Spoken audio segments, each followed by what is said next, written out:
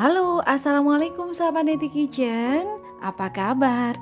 Semoga sahabat Neti Kitchen selalu diberikan kesehatan, kebahagiaan, dan juga keberkahan dalam hidup. Masih edisi menuju kemenangan Di video kali ini kita akan membuat sayur Yang pas sekali dinikmati dengan lontong dan juga opor yang sudah kita buat sebelumnya. Selamat menyaksikan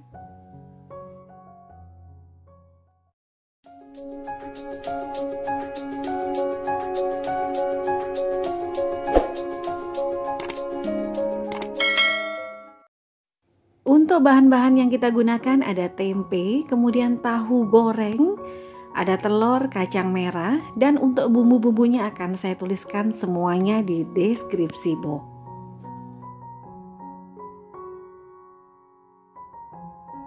Pertama-tama kita akan potong dadu tempenya.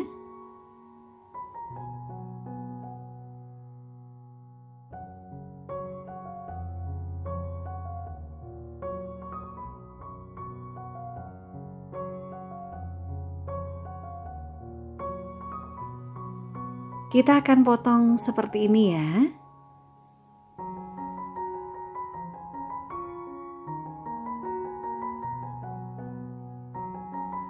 Kita lanjutkan memotong tahunya. Di sini saya tidak pakai tahu putih tapi saya pakai tahu kulit, jadi tahu yang sudah digoreng.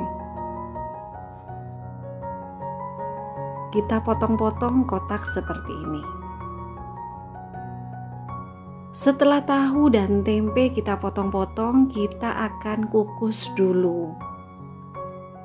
Kita akan kukus kurang lebih 15 menit.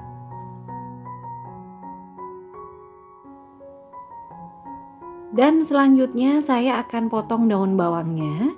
Untuk daun bawangnya dipotongnya seperti ini ya, jadi tidak terlalu tipis. Dan selanjutnya kita akan haluskan bumbu-bumbunya. Di sini sahabat Deti Kitchen bisa diulek biasa atau ditumbuk ya. Kalau saya supaya lebih cepat akan saya blender, tapi terlebih dahulu akan saya potong-potong supaya nanti lebih cepat halus.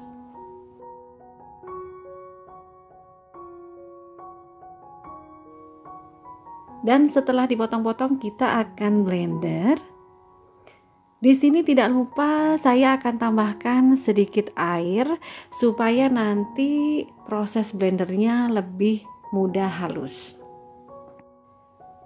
Dan ini hasil setelah di blender.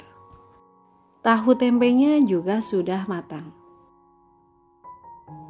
Selanjutnya kita siapkan penggorengan yang sudah diberi sedikit minyak kita akan tumis dulu bumbunya sampai bumbunya matang dan wangi ya jadi tidak berbau langu lagi.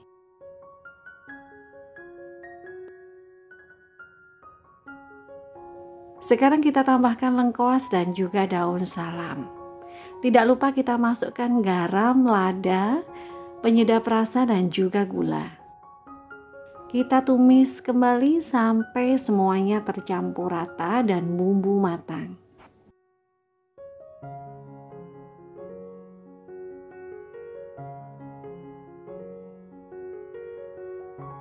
Setelah bumbunya matang, kita masukkan dulu kacang merah. Kacang merahnya ini terlebih dahulu sudah kita rendam, kemudian kita rebus sampai empuk. Dan ini kita akan masukkan tahu dan juga tempe yang sudah dikukus tadi.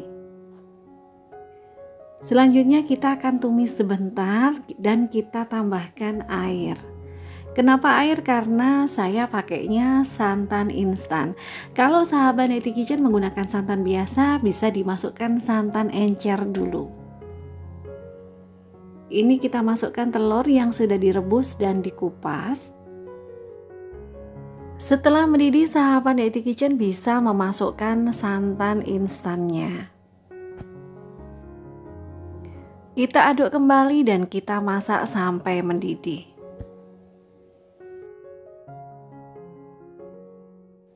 Untuk sayur ini sahabat Neti Kitchen bisa menambahkan tetelan daging atau ayam atau bisa juga kikil ya. Tapi kalau ini karena saya sudah bikin opor jadi saya tidak tambahkan yang lainnya.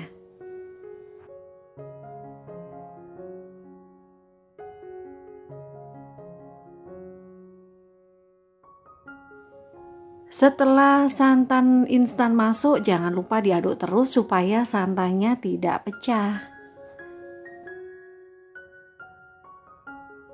Selanjutnya kita tambahkan potongan daun bawang. Kita aduk kembali sampai semuanya tercampur rata.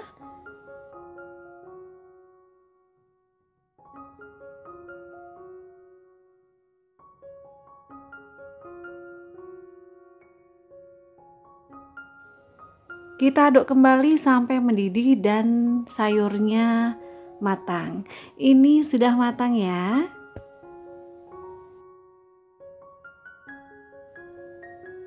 Sayur kita sudah jadi, ini cocok sekali dinikmati dengan lontong dan juga opor. Terima kasih sudah menyaksikan video kami. Semoga video yang kami bagikan ini bermanfaat untuk sahabat Neti Kitchen.